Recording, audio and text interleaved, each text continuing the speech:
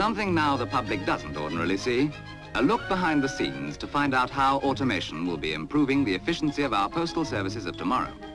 Still in the experimental stage, the new letter sorting machine is about three times faster than a man doing the same job.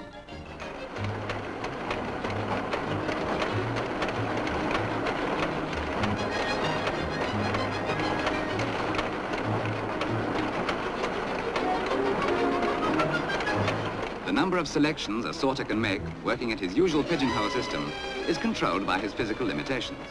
However, the machine is limited only by its overall size and complexity at the moment, and the number of destination areas the operator can memorize. For practical purposes, the machine has been built to handle 120 selections to man's 48.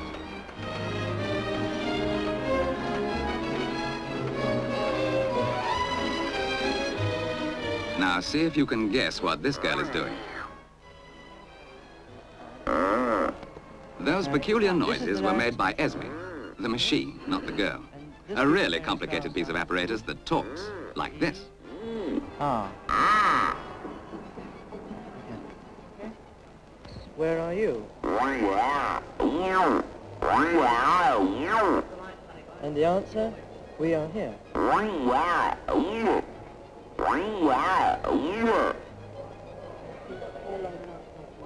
Esme is in fact a synthetic speech-making machine, which is the brainchild of the Post Office Research Department.